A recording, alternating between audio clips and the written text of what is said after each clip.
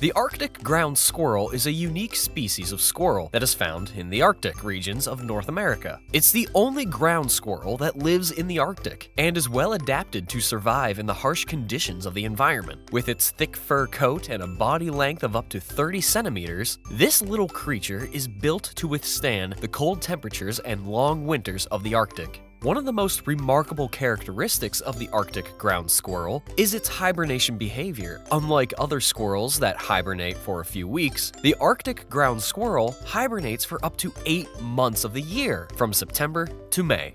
During the summer months, it feeds on a variety of plants, berries, and insects. They play an essential role in the Arctic ecosystem, as they are a primary food source for many predators, such as the Arctic fox, the snowy owl, and the ermine.